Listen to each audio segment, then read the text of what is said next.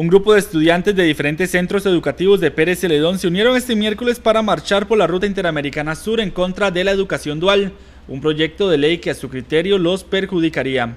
Es una marcha que estamos realizando en contra de una ley que se quiere aprobar, que se llama Ley de la Educación Dual, es un tipo de ley que lo que implementa es que los estudiantes este, dividan sus estudios en un 50%, lo cual quiere decir que los estudiantes tienen que ir al colegio a estudiar un 50%.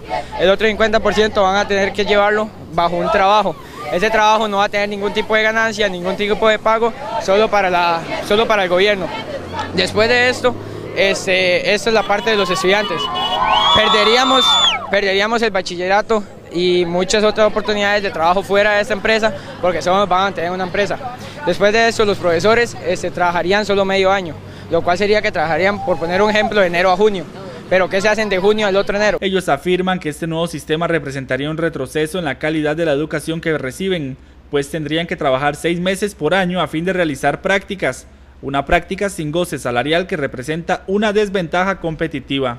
Se hace el último año en los colegios técnicos. Lo que se hace es ir a una empresa para que ellos este, vean lo que hemos hecho durante los tres años.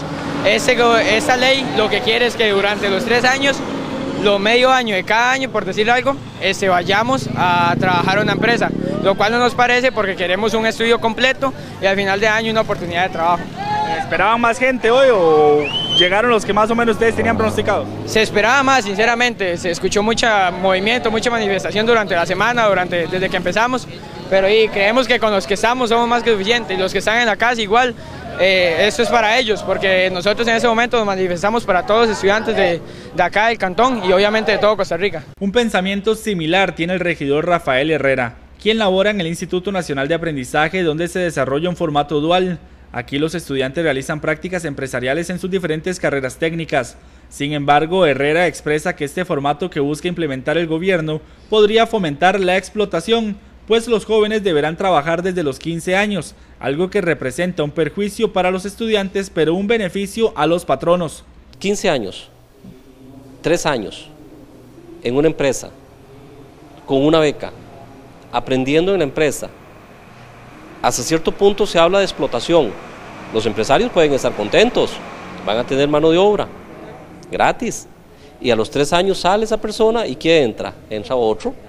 Claro que entra gratis y entra con beca, no tiene que pagar seguro, no tiene que pagar este, pólizas porque es estudiante. O sea, las opciones laborales también para quienes están estudiando se reducirían aún más.